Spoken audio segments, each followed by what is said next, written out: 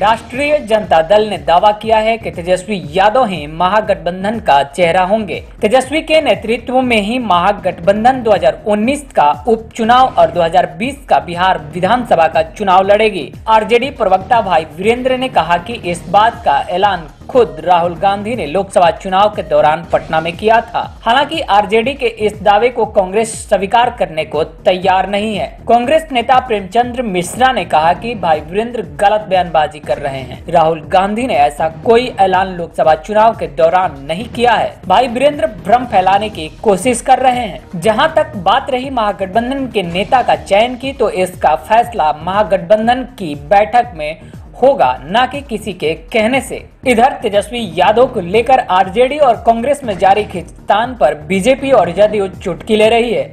जदयू नेता राजीव रंजन ने तेजस्वी पर तंज कसते हुए कहा कि अभी पेड़ में कटहल फला नहीं और लोग तिल लगाकर बैठ गए हैं।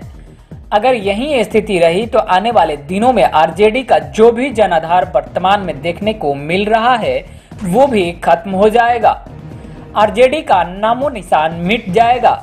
वहीं बीजेपी विधायक नितिन नवीन ने तो तेजस्वी को इस बात की नसीहत दे दी कि पहले आप अपने आप को और अपनी पार्टी को संभालिए, सत्ता पाने की ख्वाहिश बाद में सोचिएगा।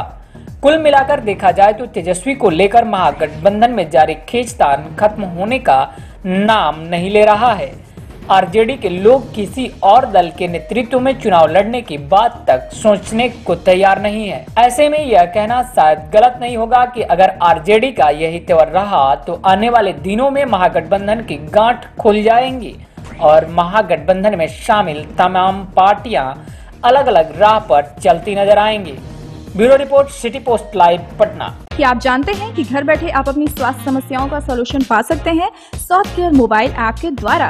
अधिक जानकारी के लिए आप संपर्क कर सकते हैं। हमारे फ़ोन नंबर्स हैं nine four seven two nine eight double one double one nine four seven two nine eight double two double two soft care app, solution at your finger tips